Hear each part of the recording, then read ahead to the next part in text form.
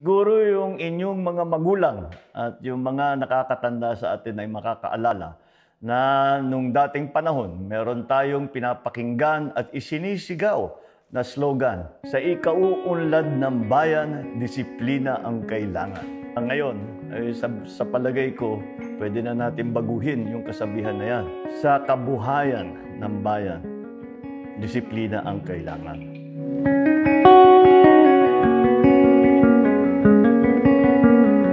I have heard the call of different groups from the medical community for a two-week enhanced community quarantine in Mega, Manila. Kamakailan lamang ay ang Pangulo ay ibinalik ang ah, karamihan ng NCR at Calabarzon sa tinatawag na MECQ o Modified Enhanced Community Quarantine. Binawasan at kinontrol talaga ang ah, sa essentials lamang ang public transport. In other words, kinokontrol yung dami ng tao sa labas ng bahay. Dahil nga kumakalat ulit at nakita natin sa nakaraang mga dalawa, tatlong linggo ay bumulusok na naman ang new cases. Kung maalala ninyo, nung una tayo nag-MECQ, May 16, ang bagong kaso nung araw na yon ay 240. Kahapon, ang bagong kaso, labis ng 6,000. Mas malala ang sitwasyon ngayon kesa sa noong Marso, nung nag-umpisa ito.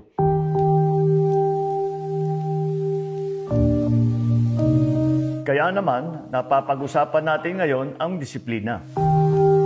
Tama ang sabi ng ating commander na pulis, hindi naman pwede bawat isang tao ay nasa sabayan ng isang pulis. Ang records ng mga pulis ay sinasabi, parating na tayo sa 300,000 ng uh, quarantine violators.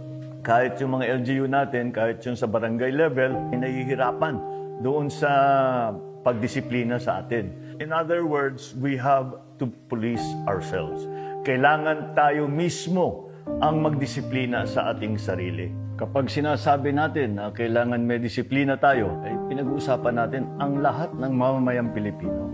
Hindi lamang ang mga pangkaraniwan ng mamamayan, kundi pati ang mga authorities. Kailangan sila ang magbigay sa atin ng ah, halimbawa kung paano ang tamang gawa dito sa COVID-19.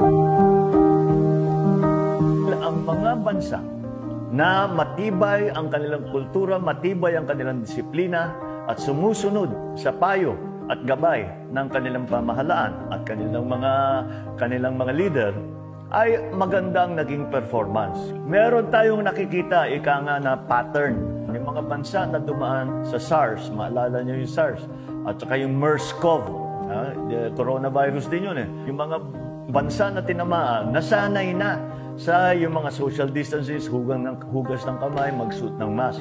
Hindi na naglabas ng military.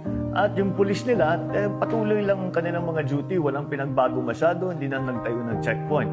Kaya nakikita natin na yung pagsunod na yan ay magiging napakalaking bahagi ng ating ah, pag-survive dito sa COVID-19. Kaya naman, at least nung umpisang-umpisa nito, sila ay hindi masyadong marami ang cases.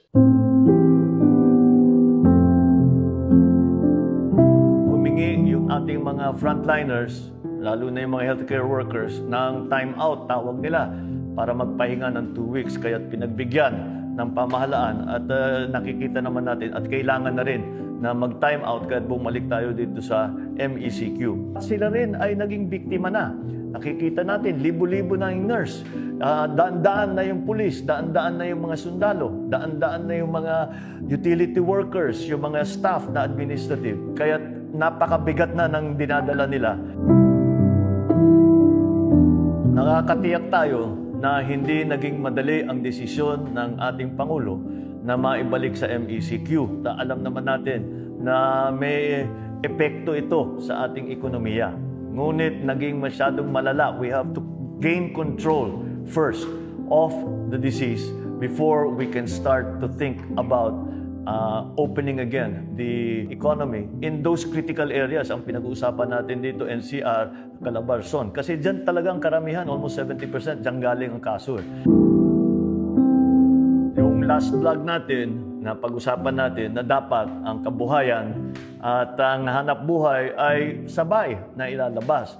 Kaya gamitin natin itong dalawang linggo para makontrol man lang o mabawasan man lang ang new cases. Nang sa ganon, eh, maumpisahan na naman natin ang pagbukas ng ekonomiya at ah, mabigyan na naman ng hanap buhay ang ating mga kababayan. Sa lahat ng napag-usapan natin, maliwanag na maliwanag na tayo ay talagang nasa kritikal na lugar sa krisis na ito. Para maging matagumpay ang ating ginagawa sa paglaban dito sa COVID, ay napaka-importante na sumunod tayo sa mga utos ng ating pamahalaan. Sumunod tayo sa gabay na binibigay nat sa atin ng mga ating mga doktor, ng ating mga medical professionals. Lahat ng disiplina na ipapakita natin sa paglalaban nitong COVID-19 ay nagpapakita ng ating pagmamahal sa ating bansa, sa ating kapwa at sa ating sarili. Kaya tama pa rin ang ating laging sinasabi. Stay safe. Be kind.